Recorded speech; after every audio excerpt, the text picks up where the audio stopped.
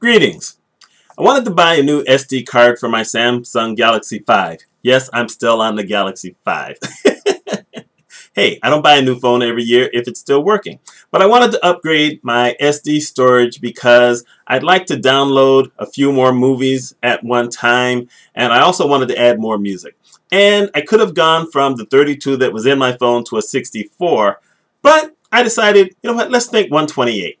So I did what I do sometimes. I don't always do this, but this time I went to eBay first, figuring I would get the best deal possible on eBay.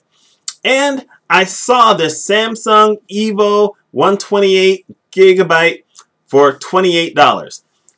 And I'll tell you the truth, I had not looked online anywhere else to find out how much these things should cost. We'll come back to that. So I hadn't looked, I didn't know, but this was $28. And I'm looking at some of the other prices, and some are 38 and some are around 45 or so. And I decided, well, you know, 28 sounds good. Now, I've generally had good luck buying stuff on eBay. I really have. I've only had one other issue, and that actually happened at the beginning of the month, where I ordered something that never showed up. And I contacted them after two weeks, along with um, eBay and said I didn't get my thing. They knew I didn't get it because eBay now has this thing where someone sends you something, they get notified when it's delivered. So they never got notified. I obviously never got it. So first they said they were going to send me something back or send me another another of the item I had ordered. And next thing you know, I'm getting a refund. That's okay though. You know, I don't know why, but I got the refund. In this case, I order this 128 gigabyte, you know, SD card, and it comes when, you know, one of these. I ordered the Samsung, as I said, and I waited about a week before putting it in the phone, and I finally put it in my phone and decided, you know, I'm going to move files over. So I took my old card out and I had it in my computer, and it turns out it wouldn't do anything. it wanted to be formatted, and I said, well, I'm not about to format it and erase everything I have on there. That's not going to happen. So I had to put it back in the phone and move files over from the phone to the computer. Laborious. It took a long time, but I didn't want to lose anything.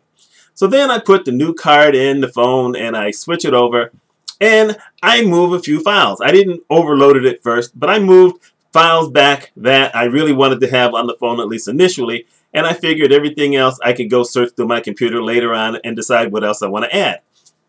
And immediately, I start listening to my recorded books because I listen to a lot of recorded books, and files were just quitting in the middle. I would be listening to a chapter, and all of a sudden it would stop and jump to the next chapter. And I would go back and hit it, and maybe I'd hear a little bit more, and it would jump. And I'm thinking, oh, geez, something happened with the files that I tried to transfer.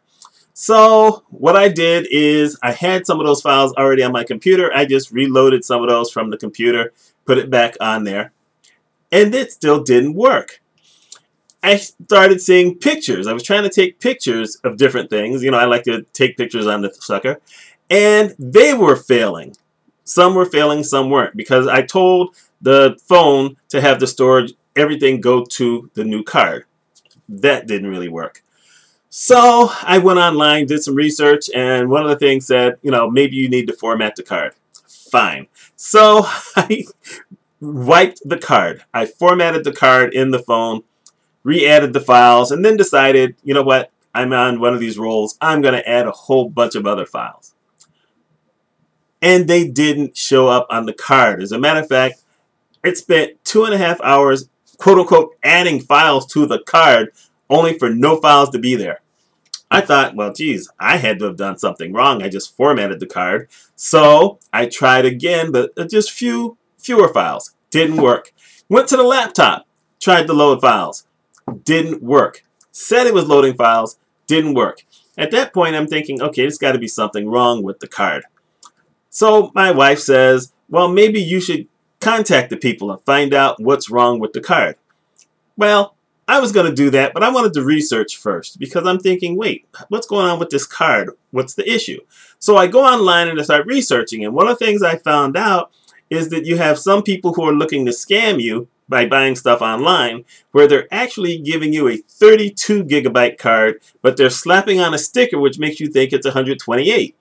Now, I will tell you the truth, the package looked brand new when I got it, but you know what? I'm not always paying full attention. So I went to see how much storage was on the card, and it was right at 31.9. so that was it. It hit 31.9 and wouldn't accept anything else. That's why every other file I put on there was gone. But the files that were on there were corrupted. There were a lot of files that I had moved over that it just said, nah, I ain't playing it. Nah, don't even, why is that on here? We're not even going to play. So I go to eBay and I do the search through the listing of things that I've bought and I find the people. And so I'm going to do this one star review telling them that this thing stinks. But I've got, you know, my belief that I got gypped out of the size of the disc that I got. So eBay asks you an initial question. It says, have you tried to contact the seller? I hadn't tried to contact the seller. I said, okay, fine. So I reach out to the seller and I write this kind of detailed thing about everything that I saw and research and stuff that I did. I got a refund within five minutes.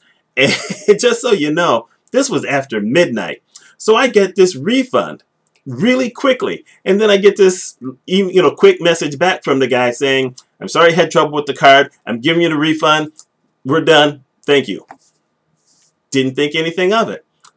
Until later that night, just before I went to bed, I decided, well, let's go back to eBay and see, you know, what I can see.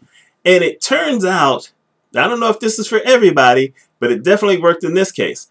If the seller gives you a quick refund, you cannot leave feedback. You just can't. There's no option for leaving feedback. And it's interesting because if you go on eBay and you're looking to search for things, you look up at the top right and you see a percentage, which is the average of how good these people are. And you try to find 99% most of the time. On this one here, it had been 96.9%. Now, I don't know if eBay has a certain amount or a certain score that someone has to have to stay a seller on there, but these guys did not want me giving them a one star or a two star or whatever. So it was gone. So I didn't have an opportunity to warn anybody else that, hey, this guy might have sent me a fake 128 gigabyte SD. Just didn't have the time to do it. So I did this video basically to give you a warning about some of the sales tactics that some of these people might do on eBay. Like I said, I've only had two issues in all these years. Just so you know, I then decided today to go to Best Buy because right now it's really the only technology store that we have. I could have gone to Staples and I guess I could have gone to Walmart or Target, but I wanted to go to a technology store. So I go to uh, Best Buy and I bought this. Can you see it? The Extreme Plus. Now, Samsung, uh, SanDisk as opposed to Samsung, it retailed for $229 and I got it for $79 on sale. 128 gigs, are you kidding?